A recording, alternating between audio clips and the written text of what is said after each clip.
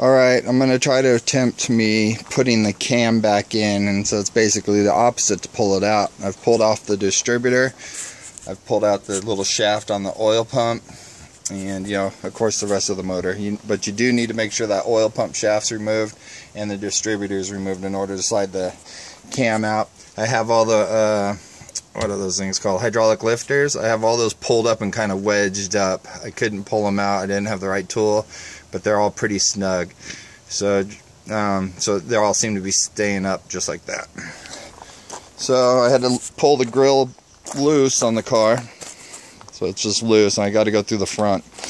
So let's see, how am I going to do this? Good luck with one hand, huh? Let's see if I can do it from the front, coming down in here. Get it into, get it in there. Let's see. So I got it in there.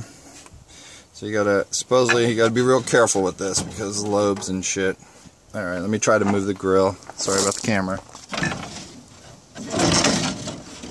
Picking up the grill a little bit to get the cam straight. Alright, so now the cam's straight.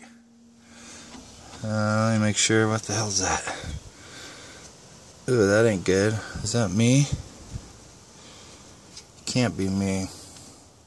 Oh, I just found something on my cam that uh, doesn't look right.